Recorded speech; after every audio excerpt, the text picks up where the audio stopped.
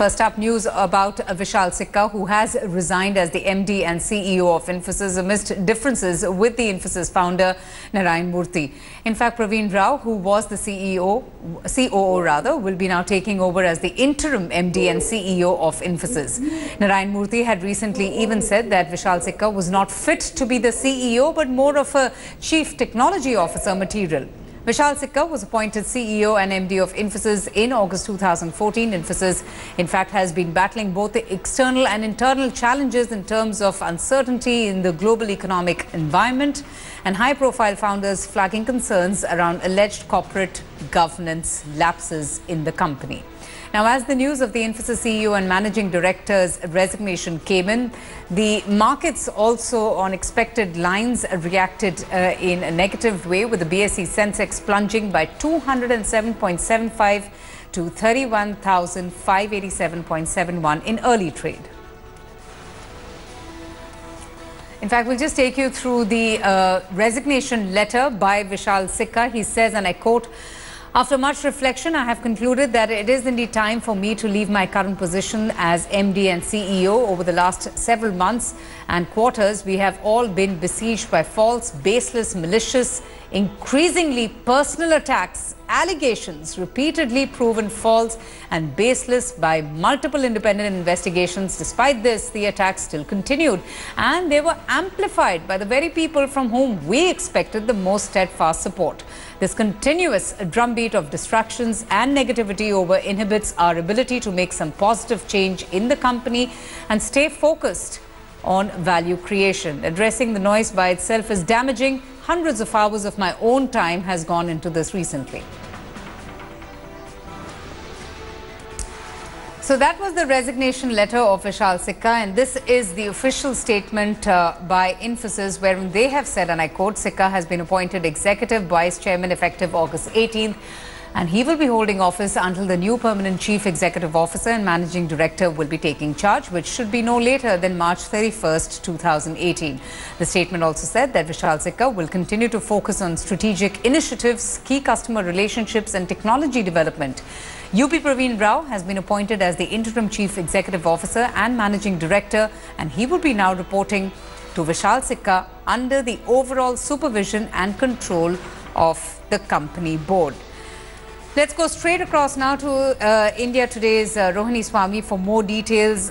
Uh, you know, Rohini, a very personal resignation letter wherein Vishal Sikka, the outgoing CEO and MD, does talk about, uh, you know, the controversies, the allegations, but most importantly, highlighting on just how he found no support uh, from either the directors on the board or even the founder, Narayan Murthy.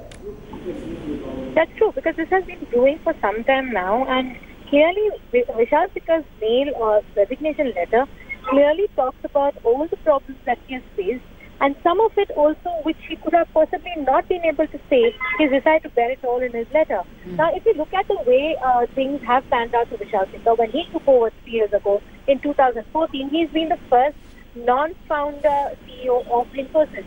And upon his head, he, upon his shoulders, he had a great responsibility of taking Infosys to another level, and possibly that pressure also, uh, coupled with what has happened uh, across the world in terms of Brexit, in terms of visa problems, as well as Trump becoming the uh, president of the United States, did affect Infosys as a company. But there was also another deep-rooted problem. The deep-rooted problem also being that a lot of people, executives as well as senior officials in the in Infosys, thought that uh, CEO, uh, as a CEO, Vishal Sikka could not deliver. And that also did do a lot of trouble. There were a lot of anonymous letters also that were being written.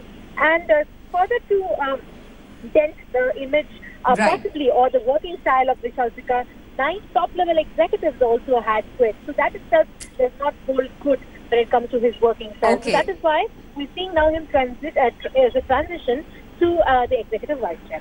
Okay, and amid those uh, very public differences between the outgoing CEO and uh, you know the board of directors and founder of Infosys, uh, India Today got a chance to speak to the former CEO uh, Vishal Sikka, and this is what he had to say. Plan to hire 2,500 or so people locally back in the fall of 2014, and then we started our US foundation, and the third logical step of that was the hiring of the 10,000 people in the US. And, and that sort of thing is something, those kinds of headwinds, those kinds of challenges you can deal with. But what's been going on over the last, you know, four or five quarters, and especially over the last since February of this past year or January of this past year, is really, I mean, there have been this continuous drumbeat of these allegations and um, news stories and uh, stuff about Rajiv separation and Panaya and all of this stuff over and over and over and over and over again. I mean, it is absolutely sickening. And uh, what it does is, every day you wake up, I mean, whenever I'm home in California, you wake up in the morning and there is some news story or the other asking basically a 4,000th regurgitation of the same nonsense. And it is, at some point you just say that, you know, I, I, I this is too much. And uh, I found that I was spending uh, way too much time on, on dealing with those things. But even that is a surface damage. This is a, you know, responding to the noise, responding to the um, chaos on the surface. What it does is it makes it difficult to carry out the change agenda. I mean, you're talking about creating a culture where we have right now, as I speak to you, something like 9,500 projects in the company. And this is a, uh, we have been working, Pravin, myself, Ranga, Ravi, to create a culture where these 9,500 projects can think of themselves as 9,500 entrepreneurs.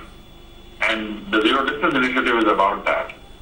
And so it slows down your ability to make that kind of a change happen. Deputy Editor Rohini Swamy continues to remain with us. Uh, you know, it, it's a very personal and a very painful uh, kind of uh, uh resignation later, uh, letter, Rohini, where Vishal Sikka speaks of his personal anguish to deal with all sorts of controversies and allegations. Uh, how really will this bit of news affect the morale of the Infosys employees? Have you been able to speak to anybody working with Infosys? How will that affect business as well? Well, if you just listen to Vishal Sikka, the tone and tenor does definitely reflect his anguish and uh, yes. possibly the kind of anxiety and pressure that he was under. If you notice the way he's talking about noises again and again and again, so very clearly that kind of pressure would also have seeped down to the info to Infosys. Now, uh, a lot of employees do they are shocked by Vishal Sikka's uh, uh, as of now resignation, but uh, a lot of executives or senior executives knew this was going to come at some point of time also, like I was saying, that there have been a lot of problems that have been brewing in terms of how he has delivered as, as a manager, as he's been the CEO. Mm-hmm. And there have been a lot of issues when it comes even to with uh, Narayan Murthy himself. Though it looked very fine from the outside, we have seen how the founder Narayan Murthy also has found that there have been issues with the working style of Vishal Sikka. So why wouldn't the employees of the company also feel the same if they have experienced that?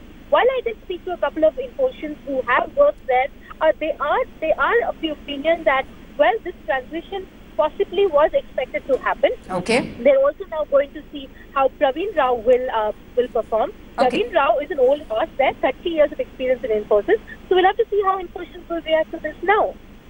All right, we leave it with that. Uh, thank you so much, uh, Rohini, for joining us and just uh, taking us through all the news and updates uh, regarding the resignation by the outgoing CEO and MD of Infosys, Vishal Sikka.